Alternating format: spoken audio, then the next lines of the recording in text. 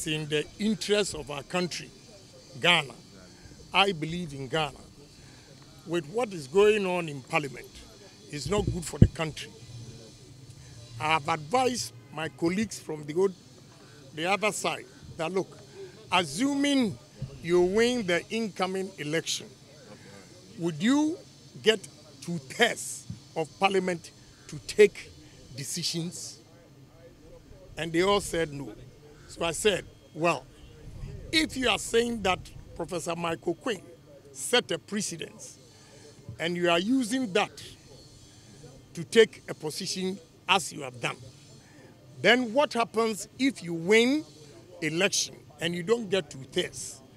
Do you expect NPP also to help for us to rule this country? That is my fear for Ghana. Whatever is going on, if we don't put an end to it and we politicize issues, Ghana, I'm telling you, in 2025, you will see worse things in parliament.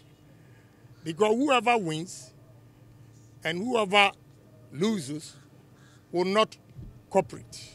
Then what will be the fate of our country? That is my major concern. Of late, I've not been speaking, but it's absurd to see grown-ups, members of parliament, you know, behaving the way we are behaving. It's simple.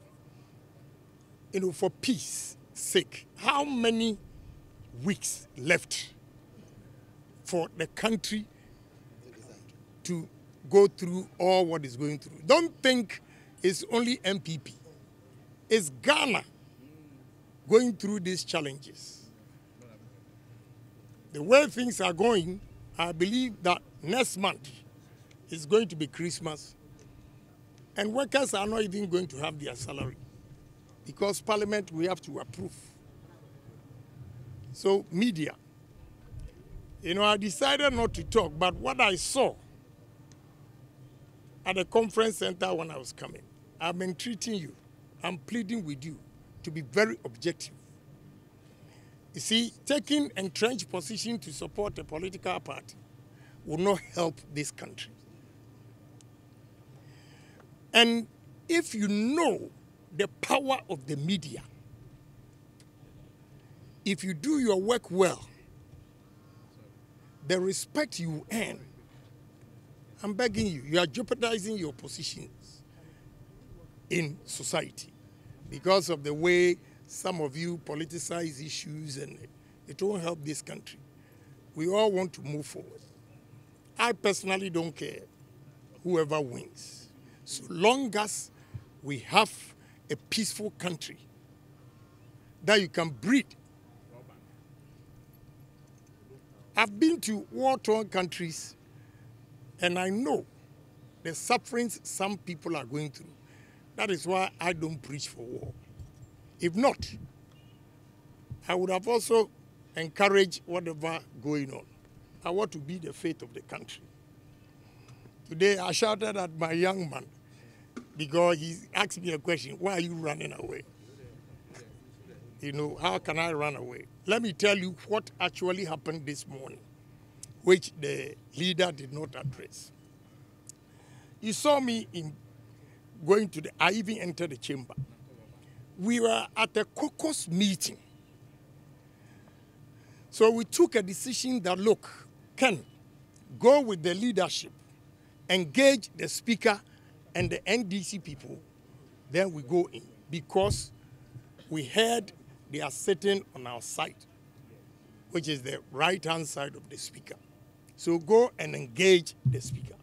Unfortunately, when we got there, they were sitting.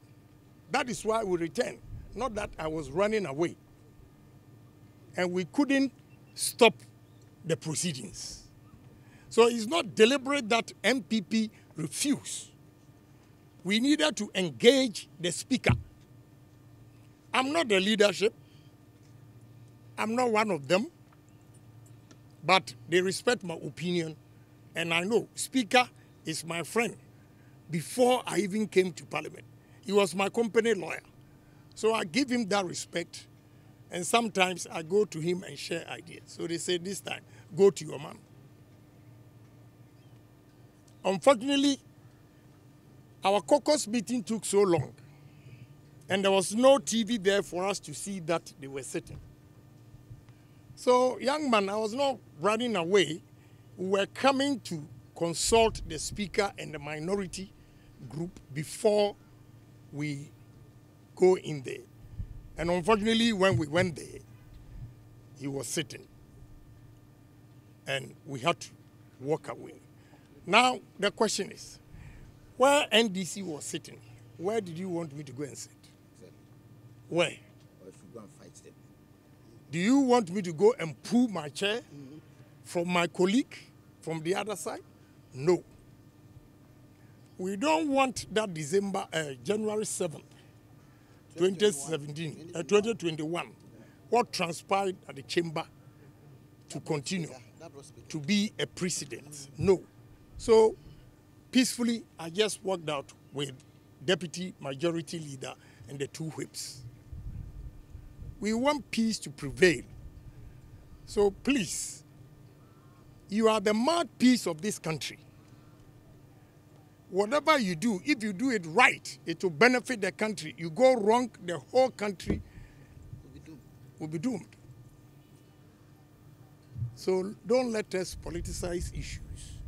Be objective, pragmatic, and first, you should all love this country.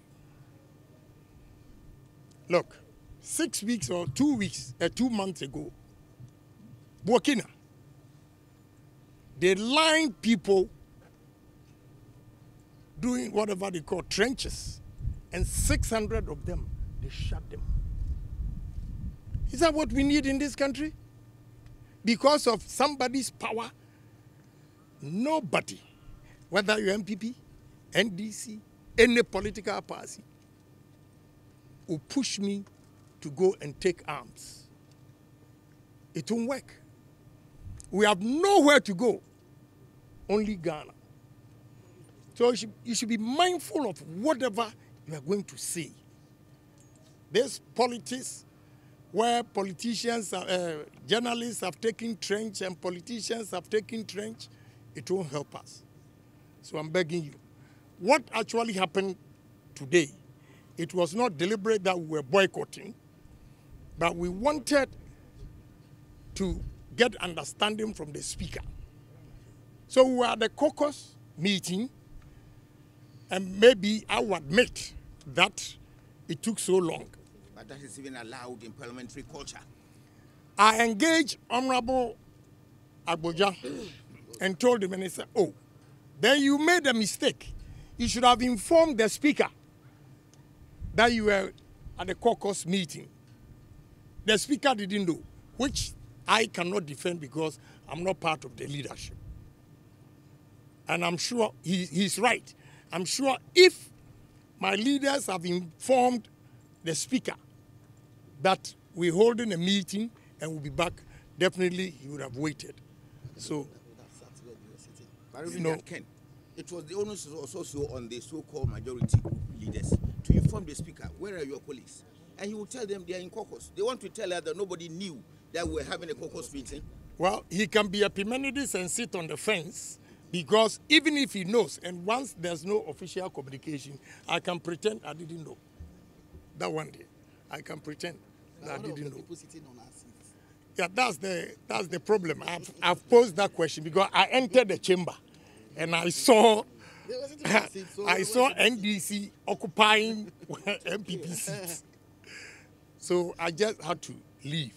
I told the leader and the leadership, the two whips and deputy majority leader that we should go back.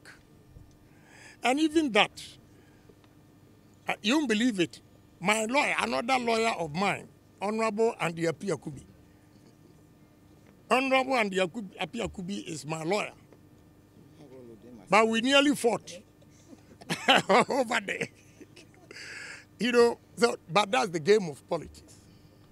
But we don't want you to fund it, fund it, fund it. Because when there's a problem, don't think you hold the camera and you'll be saved. All of us. So, young man, I was not running away. I wanted peace. As for running away, it's not in my vocabulary. No, no, no. But when you are growing, then you know. Okay, thank you very much. thank you. All right, no problem. No, no, no, no problem. Okay. I wanted to save the situation, so I just left. No problem, no problem.